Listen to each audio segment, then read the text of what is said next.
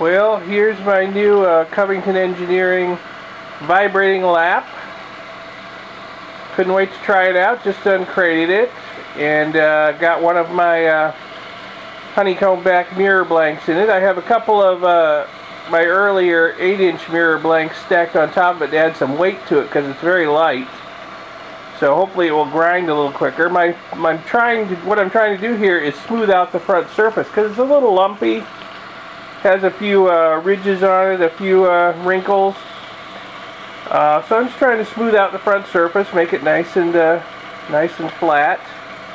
Uh, the two little pieces of PVC pipe are in there to prevent the uh, the blank from stalling out in any one particular spot.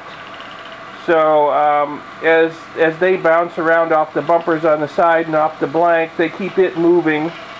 So it uh, it circulates throughout the entire pan, and it wears the pan evenly. And uh, they seem to work pretty well.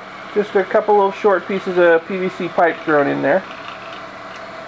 So this is a 16 inch diameter uh, vibrating lap.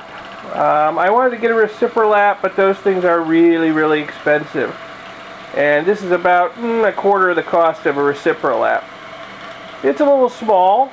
Uh, I think I can do uh, 14 and a half inch uh, mirror blanks in it if I replace the rubber bumper with something skinnier. Um, but uh, it's a start.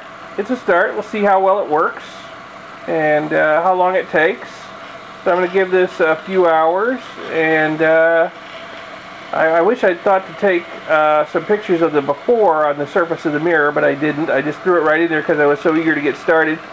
But uh, we'll see how it goes after a few hours of this. So stay tuned for updates.